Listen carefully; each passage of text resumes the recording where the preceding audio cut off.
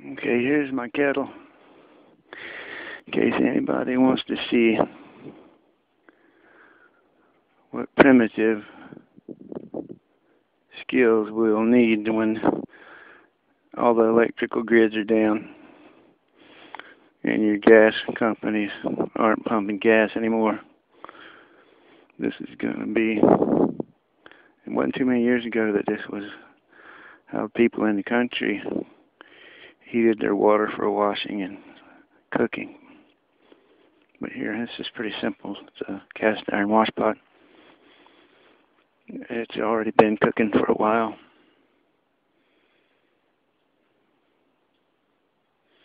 The flame's gone out, but um, you can see that the water is steaming hot. I stacked some more wood up it might reignite itself a little bit later. But that's enough hot water for your whole day of washing.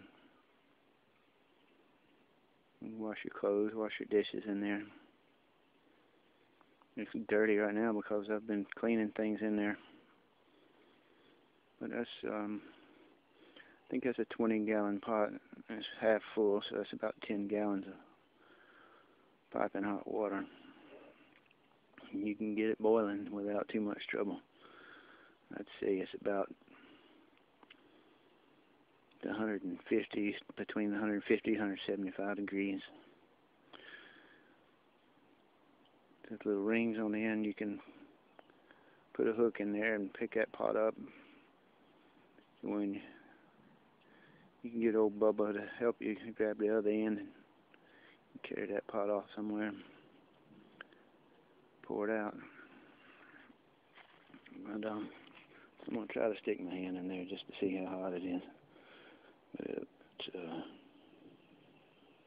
probably more hot than what I want to stick my fingers in. All right, so I'd say it's about close to 150, maybe 140.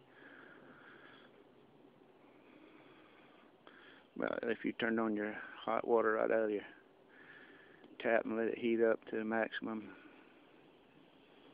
be about right. It scald you. You couldn't shower in it, it'd burn you. But all it takes is a few sticks and limbs that fell out of a tree during the storm. Get you some hot water. Clean yourself up. Some more wood there. There ain't nearly enough wood. I need about five times that much more. But anyway.